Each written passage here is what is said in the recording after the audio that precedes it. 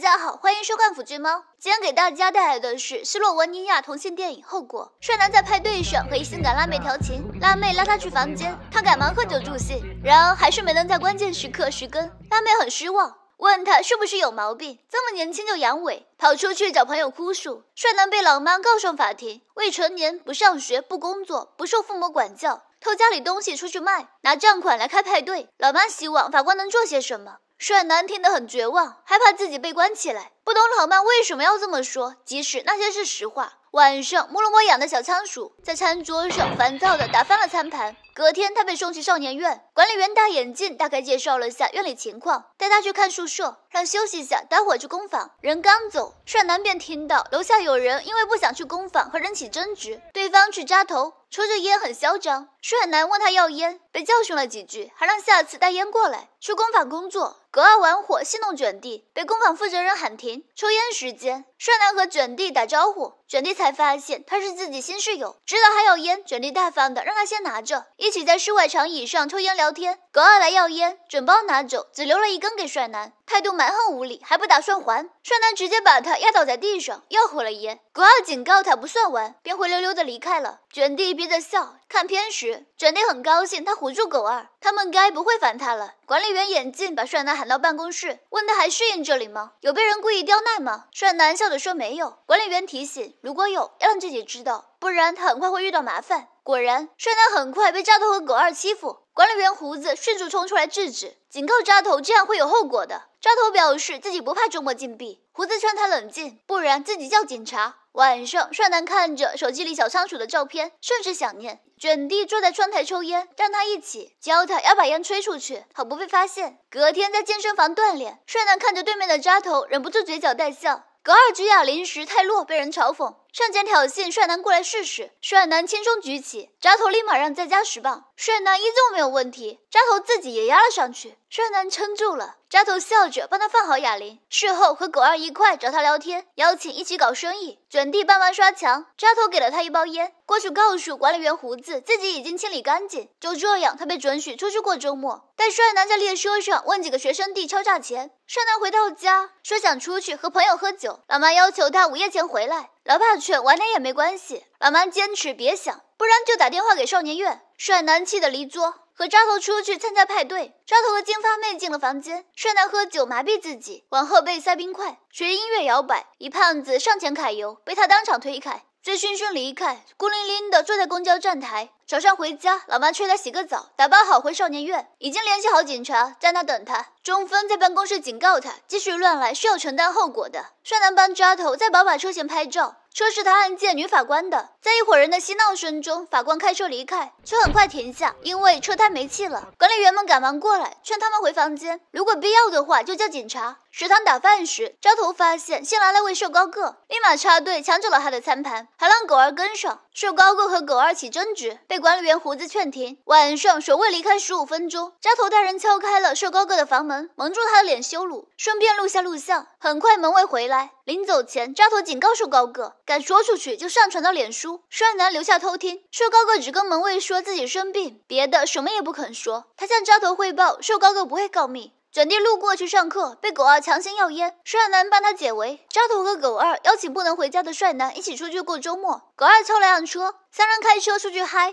扎头要去先找个人，让帅男等自己信号就上去揍他。帅男在他的指挥下大打出手，扎头和狗二拿到了超过一千欧，正在车上兴奋着。帅男担心他们报警。扎头和狗二完全不怕，在加油站加完油，钱都没付，直接上车跑路。晚上开车抵达和妹子们的汇合地点，有个黑发妹对帅男很感兴趣。一行人去烂尾楼开派对，扎头见帅男一个人站得远远的，一副心事重重的样子，上前问他怎么了。帅男劝他把钱还回去，扎头对他动了手，被金发妹制止，警告别惹他。帅男在派对上随着音乐摇摆，和黑发妹热吻，眼里却看着和金发妹跳得正嗨的扎头。狗二换了音乐，点了个烟给扎头，扎头暧昧的让帅男也吸了口。帅男一边和黑发妹热吻，一边伸手摸扎头的屁股，扎头没制止，只是笑着看了看他。派对结束，渣头开车把他放在一公交站台，黑发妹想要他电话，帅男委婉拒绝。下车后，他并没有回家，而是翻墙去了小时候的幼稚园，睡在一间小屋里。上午被电话吵醒，扎头约他下午六点某旅馆见。之前帮自己办件事，找卷弟要他欠扎头的钱，本来只欠十欧，被扎头说成了三十欧。卷弟没有，帅男便抢了他的手机。卷弟直言他傻，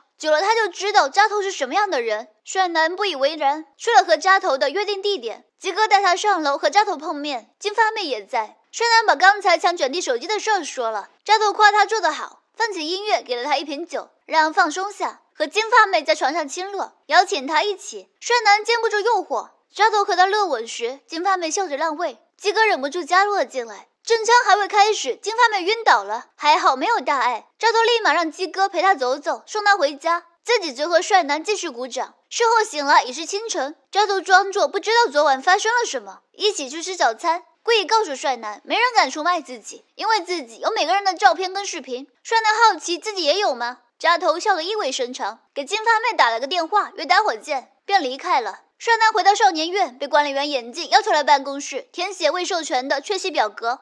卷弟还在生气，不想理他。帅男劝他，生意归生意，便先去洗澡了。在工坊做工，抽烟时间看到扎头在门口，他和金发妹约会，耽误了回来的时间，让帅男帮自己去找瘦高个要二十欧。帅男问他为什么不自己去，扎头无奈道。自己再犯事会被送去偏远小城。帅男去找瘦高个要他欠扎头的钱，瘦高个没钱，便拿走了他的外套，让周五交钱。狗二煮了焦糖牛奶，帅男把外套给扎头，承诺周五可以拿到钱。扎头让狗二帮他倒了杯牛奶，三人晕乎乎的喝奶抽烟。周五，帅男找瘦高个要钱，被管理员胡子撞见他打人，决定取消他周末。现在来办公室，帅男不服管，没理会胡子，直接走了。扎头分了点钱给他，约他晚上晚上八点地下室碰头。他买了个汉堡吃，看到手机里小仓鼠的照片，很想念他。晚上和扎头他们碰头，一起抽烟喝酒打台球，鸡哥也在，眼神暧昧的跟着帅男。葛二趁机拍照，扎头和金发妹在沙发上亲热，鸡哥搂着神志不清的帅男激吻，葛二一脸奸诈的拍照录像。帅男醒来时已是隔天，回家时家里没人，他便带走了想念已久的小仓鼠。刚出门就被警察带回了少年水的办公室，三个礼拜逃跑了五次，还满脸的不以为然。回宿宿舍用纸盒给小仓鼠做了个窝。扎头来敲门，帅男很开心的向他介绍自己的小仓鼠。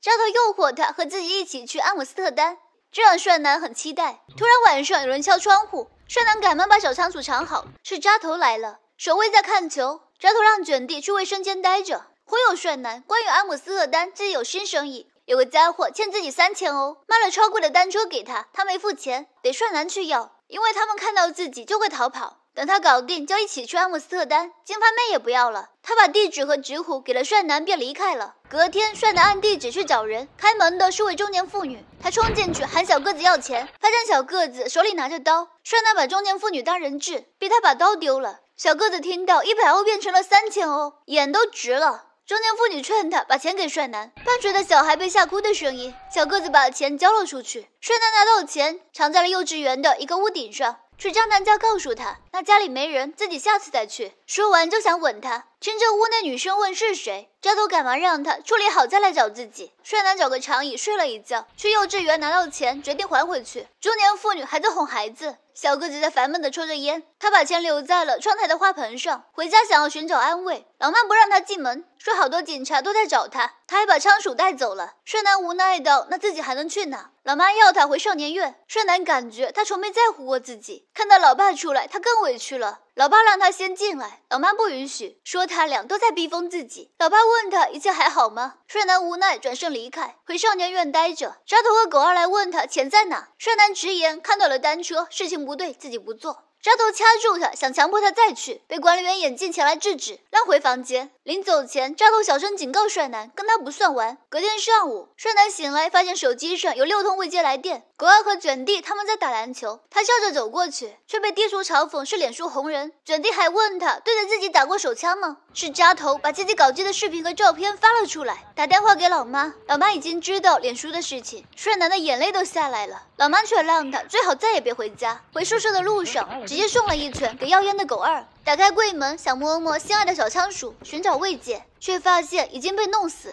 他从抽屉里拿了纸虎，出门找扎头，一拳放倒，毫不留情的揍，一拳又一拳，丢下纸虎转身就走。众人紧张的跑向扎头，帅男回去把小仓鼠扔进马桶冲走，无力的坐下哭了出来。影片到这里就结束了，喜欢腐剧猫的观众大佬们可以订阅一下腐剧猫，开启小铃铛接收更新通知。我们下期再见，拜拜，爱你们哟。